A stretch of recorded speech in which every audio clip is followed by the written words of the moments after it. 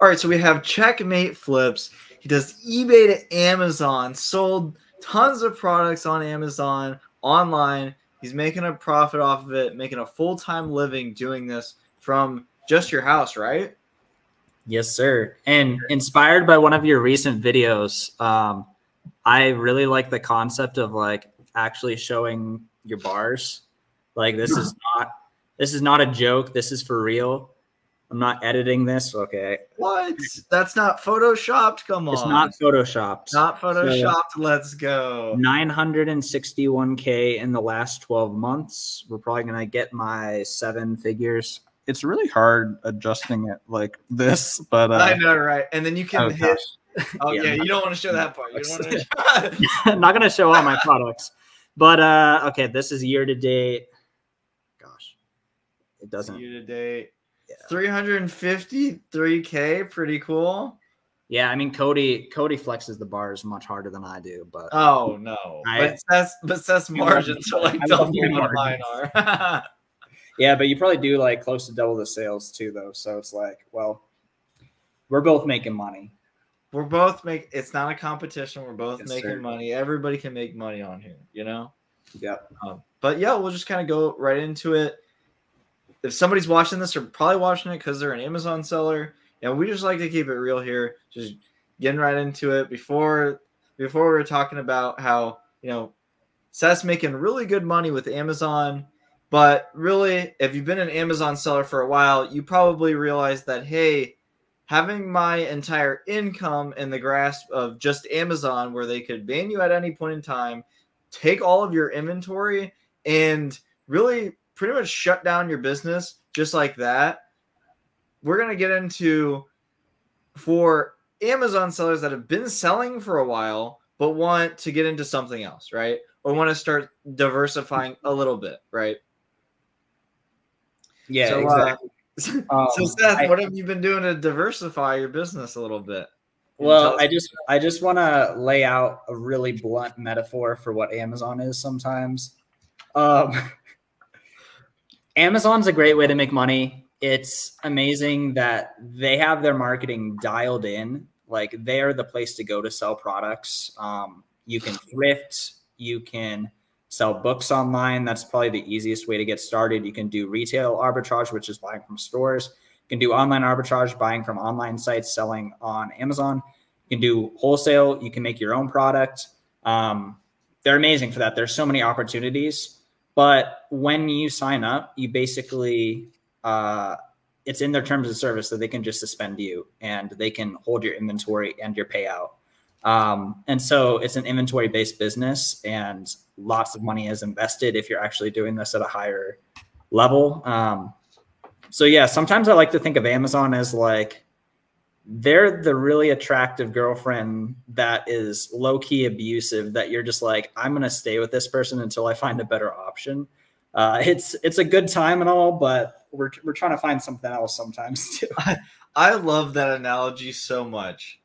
And i think the thing is with that i guess kind of like adding on to that seth because like i yeah. saw you comment that before and then i've like uh, i like told that to somebody else like bro that's so funny. I was like was like, Seth made that up. I'm not taking credit for that, right? Um, but I think it's this thing, and we'll kind of get into it where it's that. It's basically like it's kind of like the abusive girlfriend you stay with. That's pretty much what Amazon is. But right, but um, there's other options, right? I think that's the thing. Is like I guess I don't really go out to bars and stuff, but like say say you know you got this girlfriend that was at your local bar and there was only like one person. Let's say there was one person, right? Um, I I'm getting there, right? Yeah, with, yeah. With online and, business, I have I have a little note to add uh, before you before we go any further, guys. I don't advise staying with an abusive girlfriend. Leave if that's the case. But when it comes to making money, you need to make some money. So, Cody, go ahead. Yeah, for sure. But basically, I'm saying like you have other options, right? There's another bar down the street. You know, there's all the you can meet people at. Uh, you can go to the library. What was that? You could go to the library. Right, exactly. There's all sorts of different options, right? the library. And a lot of us have dabbled in just Amazon, or maybe you know we tried another business, didn't really work out, then eventually found Amazon, and Amazon. Uh, hopefully, we can agree, Seth. Like the skill barrier for Amazon, like say from zero to ten, it's like a three or four, right? You don't have to be the smartest, the most amazing person in the world to make a ton of money selling on Amazon.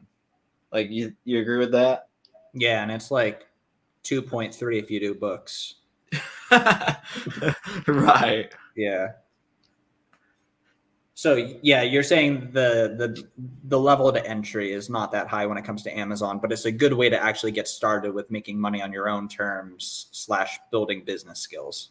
Correct. Like the barrier to entry is probably one of the lowest ones out of a lot of businesses, and then the next part is they do pretty much everything for you. So like you don't have to market, you don't have to make your own product, you just sell other people's products. So just like the skill of even selling isn't that like Seth, you feel this way too. It's like as a seller, we like to think that like we're super smart and this and that and all this stuff. But oh, I, I really realized it's like we're just in a very good opportunity vehicle, you know? When it comes to marketing, they have their marketing dialed in. I don't know anything about marketing. I literally just like look at the Keepa graphs and I'm like, this product sells. Like I know how to understand demand. I don't create demand. You don't create demand. Like we just sell products with demand. Correct. That's that's the big thing. We and that's kind of the selling point with Amazon, right? you don't have to make the product, you don't have to create the demand, you don't have to do all this stuff, right? No ads, none of that. I mean, you could run PPC, yeah. but like don't. you don't have to. Yeah. You're honestly right. that's on my to-do list. It's been on my to-do list for like six months. I haven't started a PPC campaign for my items. And it's because it you didn't need to, right? Yeah. that's the funny part. But yeah, Seth, could you tell us like kind of what you're getting into? I heard before you you know you're starting yeah. to get Walmart. Could you talk about like that and you know really anything else like outside of Amazon you got going on? Yeah, so basically, um, a couple steps I've taken to be less dependent on Amazon over the last year or so is I was completely FBA. Um, so for super beginners, if you don't know, FBA is fulfilled by Amazon. All of your inventory is at Amazon, and they fulfill your items for you, which is awesome. Uh, that's a nice way to delegate it out. Um, but it's less controlled. They have the items. Um, so I decided to do merch fulfilled, which is all the items are either with me or at a prep center, and I'm merch fulfilling the items, and I have more control of the inventory, and it's a little bit faster cash flow. Cody had been in, encouraging me to do MF for like the year before that, and I was like, nah, like I don't do MF, blah blah blah blah blah. Like I was just very stuck in my ways of FBA, and then I suddenly went gung ho with it. Um, so that was one step. Another step is um, I opened a Walmart account, and it's a very good backup option to Amazon. Um, and it's it's like it's something that I opened up. I cross listed stuff that I have multiples of onto Walmart, and like it's honestly selling really well. Um, did you ever get your Walmart account up and running, Cody? Yeah, mine's up and running. I have been spending the last two nights trying to. I'm trying to find ten items a night to like list onto Walmart. Ten units or ten like 10, 10 like I don't know what they would call it on Walmart, but on Amazon it's ASINs. On Walmart it's UPCs, I guess. I don't know. Okay. Okay. So yeah. yeah. I'm just trying to list 10 items a night. I haven't sold anything yet. Um, but I'm trying to find basically my goal is to like find really 100 items, uh, do like a test buy of one and then list it up, okay. just merchant fulfill on Walmart and see how it goes. I haven't sold anything yet, so we'll see how that goes. The approval process you got in first try, right? I thankfully got in first try. I think it was like your second try or something. You tried like like I tried like a year ago. It, it was a total of basically three times. I just think it's interesting that you got in first try and like most people don't. It's just because I'm better than you. I'm just kidding. Yeah, he's just, just better. just that's why you gotta jugular. no, I, I think there were just different phases of like I think kind of like Amazon ungating, for example. I think Walmart like a year ago it was harder to get in, and then when I applied, it was easier to get in.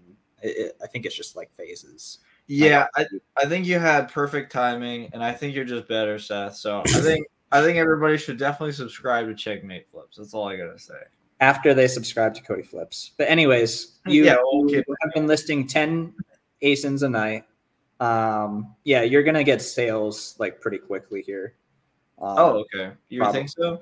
I, I feel like you will, but What- it depends on the items, of course. You know, but So there's no Keepa yeah. that we know of for Walmart, but how are you like gauging demand? Are you just cross listing your Amazon stuff, or are you just looking like my method is like I see okay, it has one review, that means it's sold. Somebody bought it and left a review, and then I'm just trying like if it has one review, I'll list it up. It like is do you think that's a good method? Like what do you think, Seth? Because you sold stuff on Walmart. I haven't yeah. Um, I, I generally just base the SEO, um, and I use uh, an SEO tool divided by the amount of reviews. I'm just kidding. um, no, no, definitely not doing that. Um, I, I I just look at the Keepa graph, and then I'm like, this probably has uh like 20% of the the demands on Walmart. I just gauge it like that. Okay. It, it I, I don't know there's no like set in stone i don't know if that's actually the case because i'm sure like for certain listings it's like 40% other listings it's like 5% i don't know for sure Do you think the demands that hmm. much? Like, let's say you have an item that you've been selling on Amazon that sold 10 times in a month. When you list that onto Walmart, do you think that sells two times, one time, four times a month? okay so also we're talking about the entire listing as a whole not my experience if that makes sense That's just your experience because that's like, I mean, we don't really have any data right now with Walmart. So I'm just kind of like, I'm basically just trying Well- to get a gauge for the Amazon sellers that are like, hey, I'm going to cross list my inventory. Like, what do you think they can expect? Yeah, but the thing is, is um, um, I think Cody will get this, and if if you're newer, like maybe just don't worry about this. But um, like if you let's let's just take an Amazon item for example. Like let's say the Amazon listing sells a hundred times a month, and there's nine sellers, and you're going to be number ten. You would expect ten ish sales a month potentially.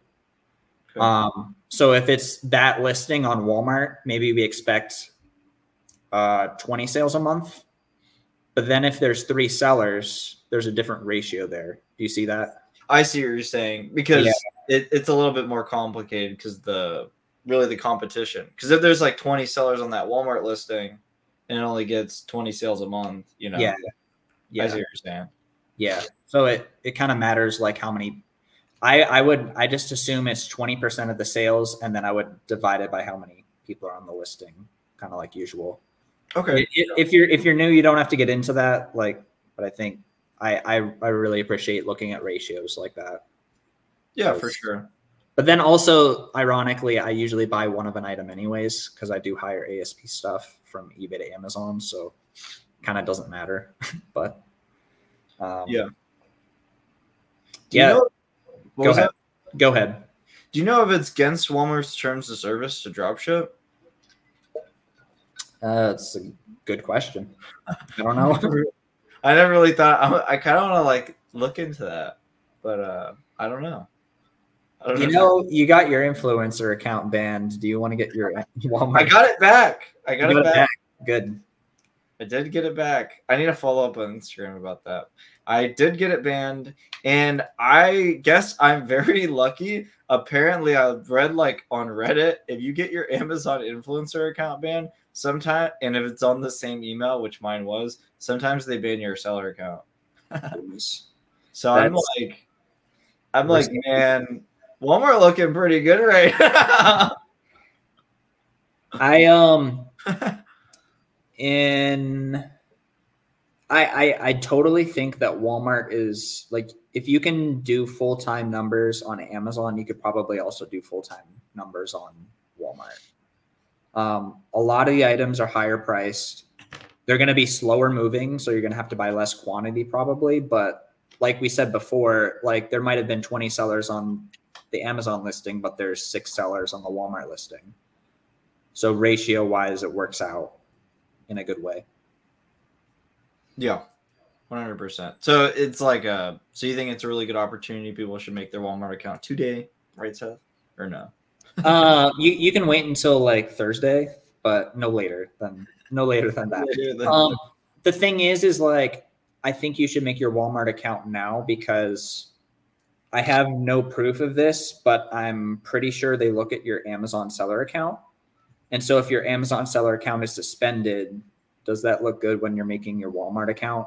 Like I, I think you need to include your like they ask for a store name when you're making your account on Walmart. Um, so like it's it's a, a glorified backup option, especially if you're merch fulfilling. You could list all of your stuff on Walmart the next day and still have good income like the next day.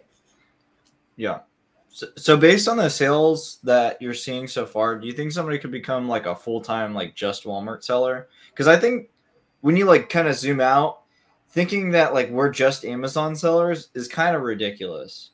I don't know. Like I thought about that the other day. I'm like, man, like you know, we sell all this money on just Amazon.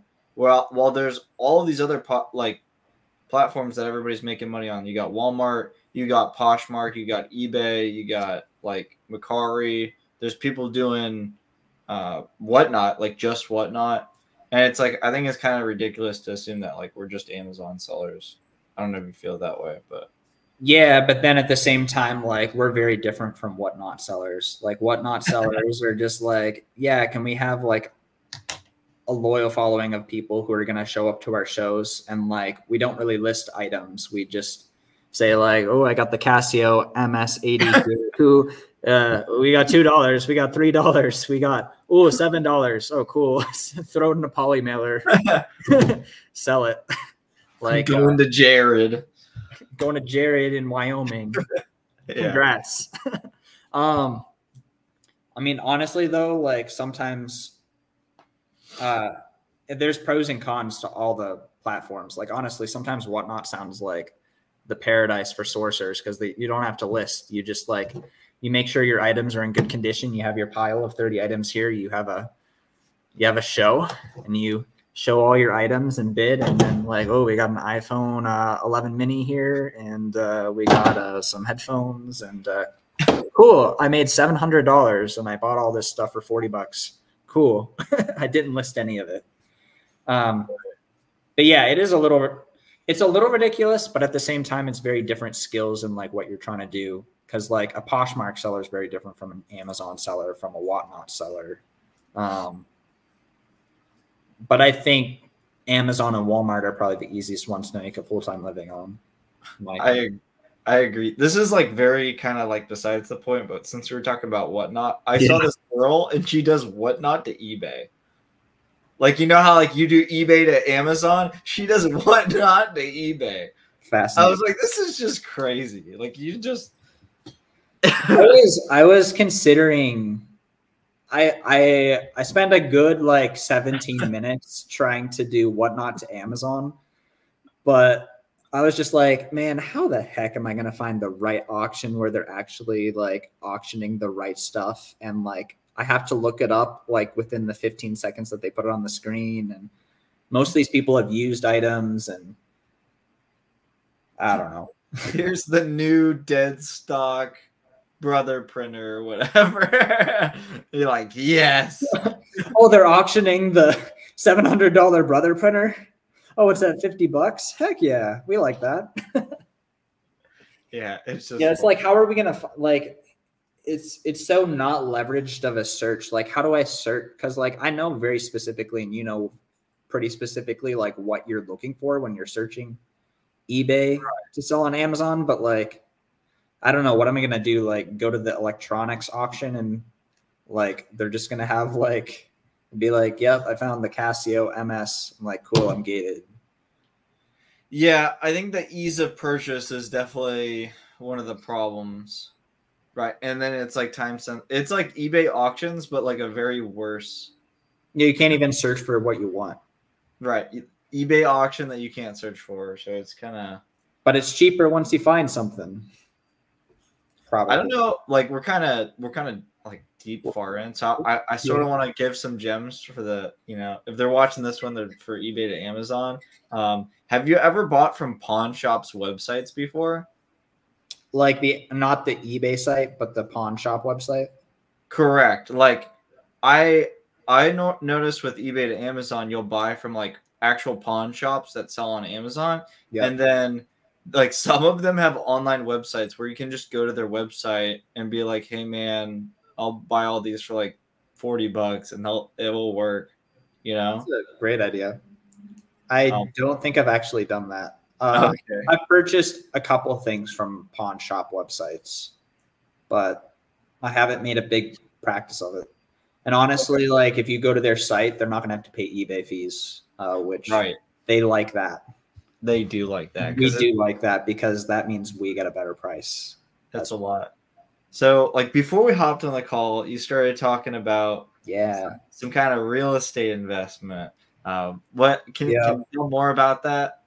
So, Yeah. So honestly, I'm still in the learning phase as well, but um, basically, I'm wanting to diversify even more and like understand how to flip houses um, as well. Because like I've thought about this a lot. Like I would love to just buy an item for like 11 grand on eBay and sell it for like 20 grand or like 30 grand or something. Like that sounds great. Um, I love my high ASP stuff, but like there's not really tons of items that have good demand on Amazon, as far as I know. I mean, if you know these items, uh, you should probably keep it to yourself, honestly. But uh, my DMs are open. But uh, I mean, real estate, like houses sell all the time, land sells all the time. Um, obviously, it has to be the right stuff and for the right price and stuff. But um, I'm learning about tax lien and tax deed investing. Um, and there's each state has different rules around it.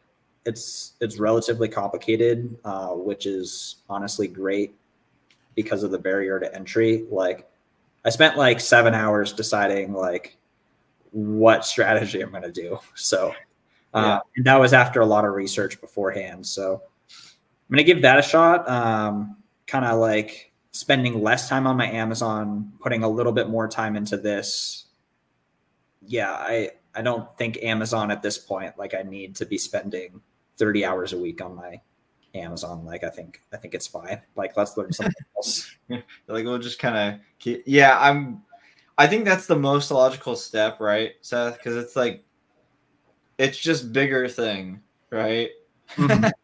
Yeah. Like you're flipping, buying for 20, selling for 50, buying for 50, selling for 100, right? Just these items over and over and over again all day long. But with that, you know, you could buy land for four four thousand dollars and sell it for eight thousand, and then make four grand. yeah. So yeah, just- that could be that's like a small flip sometimes too. Like you can you can make more too. And it, the cool thing uh, like land actually is probably a great way to get into it because it is like lower dollar like you said like like you don't have to buy a single family home like a nice single family home for 200 grand like land has value too not to get too sweaty about the real estate, but I didn't really know with land, it's hard to get financing for it. So a lot of the time you need some type of cash, from my understanding. Like I'm not really a real estate expert, but that's why some of these land flippers do very well. Um, from what I've seen, is because you actually like need the cash to buy it, and then hmm. you know with a house you can get a conventional mortgage, put say five percent down, and then a 200k house front 10 grand. But on a 20k piece of land, you can't really get a mortgage on that, from my understanding. that's so you need a front 20, you know. Yeah. Yeah. And that's great to know because, yeah, anything to make it like less competitive. Um, and it's, it's like, I think for a long time, like a lot of Amazon sellers talked about, like, oh, I want to get into real estate after this. Um, and oftentimes it felt like their businesses weren't doing well. And so I was just like, oh, that's dumb. Like, you're not like focusing enough on Amazon and then they like they they have that mindset and then they go like super deep into like i'm gonna do like four percent down on something and then like rent it out. And I'm gonna FA like a first time homeowner. What what what what is it even called? I don't even know. FHA. Uh, FHA. This is bad that I don't even know this, but I'm not planning on doing this I, I, mean, like you're just getting. I don't know. Like I know some of the terms. I know some of the. I was like, oh yeah, you're in a lean state. like I know you're in a lean state. Like there's just freaking sucks. That? I I'm just like I'm I'm kind of I'm salty that my state isn't the type of investing I want to do. Well, you can. Um, I, I can, yeah. Yeah, you can buy a for the people that have no idea. Like you can buy a tax lien. Um, I'm not going to get into everything about it, but you could buy it like he's in a lien state. So if you bought a lien, um, and then the person didn't pay back the lien, then you could still get the property. Yeah. So, so that happens. You just need a lot of liens. Like you probably need to buy for every 10 liens, you might get one property. Yeah, I I would love it if it was that. I, I wish I knew the percentage. That would be such an interesting percentage to know for sure, because that would in, inform the investing so so much. I don't know if it's like one percent. I don't know if it's twenty percent of people don't redeem. If it was if it was even ten percent, I would be willing to do tax liens in Colorado. I think. Um, I know somebody that did do liens in Colorado, and they bought ten pieces of land, and then one didn't. Dang. one didn't pay back, and then basically he got the land. But that's like cheap land parcels if it's something like, say, a two hundred thousand dollar house, they're yeah. probably going to pay back the lien. You see what yeah. I'm saying? Yeah. Okay. So for people who don't, people probably have no clue what we're talking yeah, about. Yeah, I know, right? So, um, so basically, uh, there are tax liens and there are tax deeds. Tax. Okay. So this whole this whole situation is because of property taxes when you have a property, you need to pay your property taxes. Um, if you don't, the government has different ways of getting their property taxes. Um, and so, depending on the state, there's different rules. A tax lien is basically the government saying, investors, like, we will give you 14% uh, to pay this property tax uh, for us so that we can continue paying teachers and uh, police people and firefighters and et cetera, et cetera. Um, and when the property owner pays back the taxes, they also have to pay back that 14%. So the investor gets 14%. Um, there's just tons of different rules. Um, but then if they don't pay back, you get the property. Um, yep. And so there's different amounts of time per state. Like Colorado, it's like three years, I think. Um, other states, it's a year. Other states, it's two years. And then there's also tax deeds where they just start an auction from the uh, like the taxes owed and then people just bid up and you get the property at that point. So there's that's that's just the basics of it. There's a lot more to explain but uh, yeah. It, it's kind of complicated because there's the lien in the deed states like in your state you could get a lien and then i don't even know the the time period if they don't pay it for let's say a year two years you might get the property. While a state like my state i'm in florida if uh, well, there, there's a lot to it. It's technically kind of mixed, but pretty much my state is a deed state. So once the the property goes to like a deed auction, once you win the auction, you win the deed, which is so everybody like they want to. People say they want to own real estate, and they don't like really know what that means. Um, I, I mean, I I'm trying to figure it out too, right? So people say, mm-hmm. oh, they're going to own real estate. When you're owning real estate, what you're really owning is the deed to the property. If you don't own the deed, then you don't really own the real estate. I mean, yeah, that's kind of the basics of it. I'm not trying to act like I know more than other people, but it's just kind of what I've learned. Um, yeah, or like if you have a tenant, you're trying to have the tenant pay down more of the mortgage so that you eventually have 20% of the property or 40% of the property or 60% of the equity in in the, the house. Um yeah. it's the appreciation. What well i know this is getting kind of like really sweaty in the real estate thing but uh the thing that i didn't really realize is for like for things to go to these deed and lien auctions for anybody that wants to go down this rabbit hole right? It's a rabbit hole. It's it's so you could spend so much time into it but basically from what I learned, uh, there's not really too much that goes to lien and deed auctions, and if it does, it's probably a pretty like least desire, like not as desirable. Uh, but there are definitely some come up stories. Like there was this guy, and like he got a property for really like a thousand bucks, and then he was able to sell it for ten thousand or twenty thousand. Like those stories do exist, um, but you have to sift through a lot of stuff.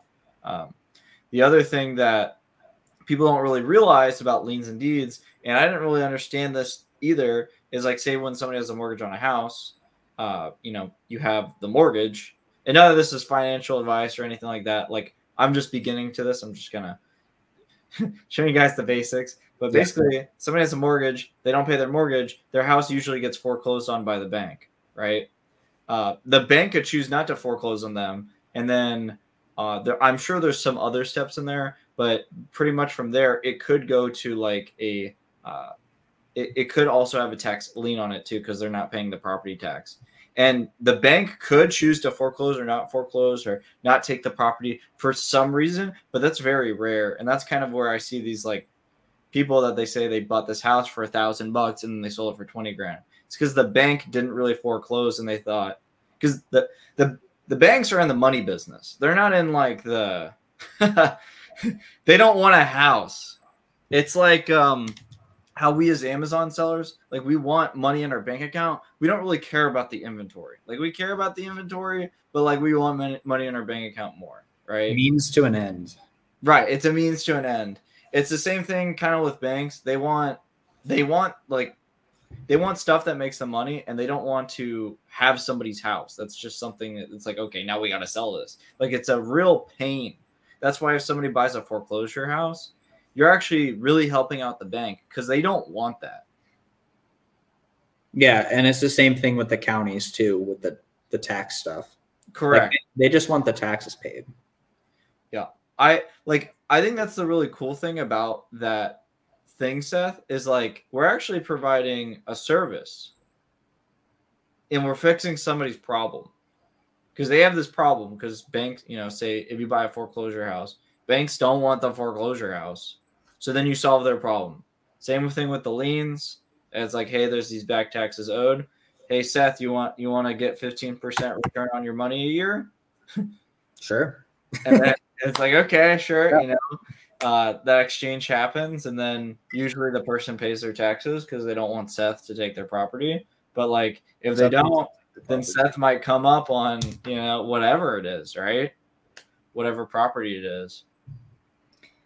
Yeah, I actually heard of a a story of somebody in Arizona. They bought a uh, a tax lien on a property. It was a condo. They paid eleven thousand dollars for the tax lien. They waited three years. The person never paid, and um, they eventually got the property. They decided to rent it out for a year, made their eleven thousand dollars back, and then sold it for one hundred and sixty nine thousand dollars. Yeah. Exactly. But the thing is, is like that was over the course of four years. But right. But like that's that's a that's a lot of money. But then that's over the course of four years. Um, and that's like kind of a lot of mental space. But at the same time, a lot of people aren't worth one hundred and sixty nine thousand dollars, like net worth at all. So it's like, was that fast or was that slow? Like like if you could increase your net worth by $169,000 for an $11,000 investment over 4 years, like I think most people should do that.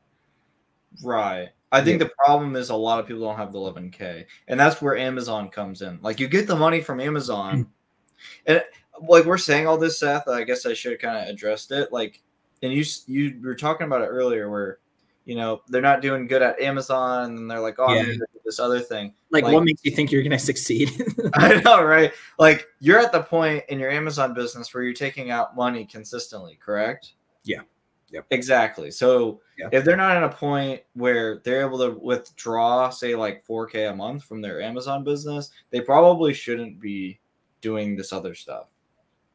Yeah. Like, yeah. Yeah. probably beyond that, too. Yeah. I mean, they can do whatever you know. You can do whatever you want, man. You can do whatever you want, right? Yeah. But it's kind of like this is a really good thing that makes money, but there's definitely a lot of risk to it. I feel like with the real estate stuff, it seems like there's not as much risk. Yeah, there are a lot of like there's there's just a lot of random things to keep in mind, but like I know that's kind of super broad, but I I guess specifically with like the lien and deed investing because you're getting it for like I would imagine unless it got bid up at auction, you're buying it for like below market or at market value. Unless it got super bid up, then you would be, you know, buying above market. But if people are bidding up, there's probably a good chance that like there's a reason why they're bidding up, right? yeah, and I mean it's it's kind of just like um we could just compare it to eBay to Amazon and specifically even with the auctions. Like let's say you're you're bidding auctions on eBay to sell on Amazon. Like in both cases, you're going to want to take a look at like what pr- price are you planning on selling at? And like what are the fees? What are all the different costs that come to selling with it? So like we're not going to like pay Amazon market value on eBay like we have a maximum bid if we stop there. Like whether we want 30% ROI, 50% ROI, 70% ROI, like whatever it is, like we have criteria and we stick to that. Um, so, but then it, if people are bidding up to market value, potentially the market value, there's something there that makes it higher than market value. And so that's where research comes in. Correct. Uh, which I need to do lots more of before I'm actually good at because I actually haven't even bought anything yet, but I'm doing tons of research right now. So Seth, I know eh, like I know all the stuff we talked about before. I haven't even bought. It's like watching all these Amazon videos and then not even selling one item. Yeah, but the thing is, is it's weird though with real estate. It's like I do feel like with Amazon, I feel like you should just like watch a video or two, start your Amazon seller account, watch another like 10 videos, and then start buying stuff. Like I think that's an acceptable amount of time to research. Um, that balances like actually learning something and like actually getting started. But like if you're gonna go and like spend like 15k at a an auction for real estate, um, and like what if you buy something that like the person actually owed like another like 6000 in taxes and that's connected to the property but you didn't know how to research that. Right. And you jumped in too quick because you didn't do the research or understand that that was a like a, a problem that you need to look for. So it's like it does require a bit more research i think. There was this uh there was this auction that this guy went to and yeah. and uh, it was a deed auction and basically he, he went to this auction. He was like, oh, yeah, like I'm going to get a property today. Right. But he didn't go and check the property beforehand that had the, that was at auction. yeah. And they were bidding it up, bidding it up, bidding it up. They paid like 200K for this house. And then the other guy was bidding him up. And he and that was like his competition. He was like, "Oh man, 200k! I got this house for 200k." You know, he thought it was 400k, 500k, and yeah. then I was like, he like smiled he like looked at the guy and he's like, "Good luck, buddy." And apparently, that dude that was bidding bidding up, right, uh, or making the other guy bid up. Hopefully, hopefully you fall right? Yeah, yeah. It was a trick. It was he. Went, right. He went to that property like a few nights before and did his research. The entire property was flooded and then it got frozen. so I had to get completely demolished, and the land was maybe worth five k. So that guy lost like 150k at least. Why? Why was the other guy bidding him up? Just like, haha, gotcha. well, yeah. I mean, it's like pure evil. well, at a local auction, because some of the in some of the states it's a local deed auction. You want to take out your competition, like not oh. to be oh. an oh. ass, but like it's either you let him spend all of his money on this one property and lose all of his money, or he's going to eat your tax deeds on the next auction. Yeah, fair enough. So, I mean, it is what it is, but the guy didn't do his due diligence. So, yeah. goodness. Yeah. I mean, I would hate to see that happen, but I understand, you know. Was wow. that? Yeah, that is like and that's like higher ticket too. Like I think, Yeah. Yeah. I- At the, point that like I'm spending 200k on a property, like I hope I know how to do do like due diligence in a better way than that, or else I won't get to that point. I know. I think that's where like you kind of start smaller, right? Like you start at like maybe land, like you know, 3k land, right? Land that's like 3k or a grand. I like I agree with what you said, Seth, where it's like, oh yeah, if you watch some videos, just like buy some products on Amazon, start trying to sell it and like figure it out from there. And I feel like real estate might be the same way, but the problem is you need more money and then not always, but like in general, you kind of need more money. And then um I think failing on like smaller properties might be the play. But I don't know. I, I haven't bought anything yet. You know? You're probably like high ROI, low dollar properties, kind of like the books of Amazon. Like if you just buy a, bu- a book for a dollar and you're aiming to sell it for $10 profit, but it only sells for $6 profit, like you succeeded and you learned, you know, like that might be the play. like I just see Seth as like the point of like, hey, I'm taking 5k out of my Amazon business a month. Let's say that's like not for personal living expenses. That's just like That's just for DoorDash. yeah. Yeah, that's like your fun money, right? yeah. Or like you have 5k in like top cash back or whatever because you've been running up OA or whatever it is, right? You just kind of take that 5k and you're like, okay, I'm gonna just like throw spaghetti at the wall here and kind of see what happens. You know, maybe I buy something that's worth nothing. Maybe I buy something that's worth a lot of money, but at least you learn a little bit. I don't. I don't know if you feel like that might be the play. I'm trying to figure it out myself. I'm like, oh, I, you know, I don't know. Yeah, I mean, you got to think about like, do you even like, do you want to do this? Like, is that even the path for you? Um, but yeah, like if you if it is the path for you or for me, like at some point, like I do need to actually get started and buy stuff. Um, you know, obviously, um, not risk everything. Like, let's say I had 150k, like I should not be planning on bidding 150k on anything because, like, I don't know what I know at this point. Like, I really don't. Um, yeah, so um, try to try to buy higher ROI, like bigger cushion stuff, and just like be willing to go to several auctions before I get anything potentially. Um, I think that'll be a, a good thing long term. And then even if I sell something for a loss, like I think it'll be good to go through the process of like, okay, I bought a property like out of state. I worked with a real estate agent and I actually sold this thing. Like I know what the process is like. I know generally how long it takes me. Cause that's another thing I've been thinking about. Like, okay, like cool. Like let's say I make 10K on a flip. Like between like doing due diligence on several auctions on all the properties, by the time I actually get something, by the time I like go locksmith and like get my key, like go like deal with all this stuff that I'll have to deal with in selling.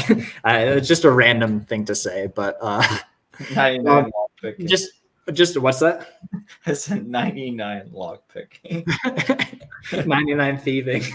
Even yeah, there you go. lock picking. Um, by the time I do all that, like if I've spent like, uh, I don't know, I don't know what amount of hours is unacceptable, but like you should be thinking about like, okay, I spent 32 hours on this deal and I made three thousand dollars. Like, is that good? Is that bad? Um, honestly, I think the math on that is like a hundred dollars an hour or something. Wait, Yeah. So some would you say? Did I, I? I'm just gonna do the math. So we got we got the calculator. Oh, we got the calculator and whatnot. Okay. I, I haven't shipped it yet. It's shipping on Monday. It's uh, Friday right now. So, um, okay, so three thousand dollars divided by thirty-two hours. That's ninety-three dollars an hour. Um, so you, you just got to be thinking about like, okay, if this takes if this takes eighty hours and I made eight hundred dollars, like that's a problem. like you would have been better flipping burgers at McDonald's. Um, unless that's the learning the process so that next time it can take 40 hours and you make more money you know Yeah, I mean, it, it could be like um, Amazon. I wasn't profitable for, for six months. I know a lot of people Yeah. weren't. Um, That's a good aren't like that, but I mean, it worked. It worked out, right? Um, I don't know if were you profitable in your first six months or no.